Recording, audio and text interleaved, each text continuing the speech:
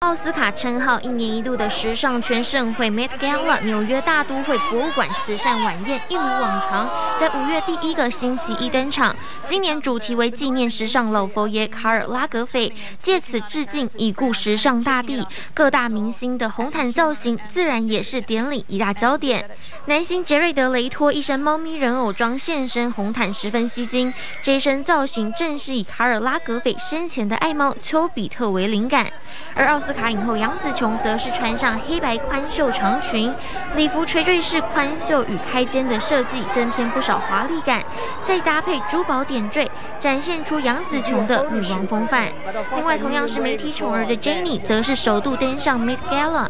她穿上1990年代古董裙，平口加上微微抓皱的设计，完美展现身材曲线。再配上腰间的黑色缎带以及白色山茶花的对比，加深了礼服的分。量感。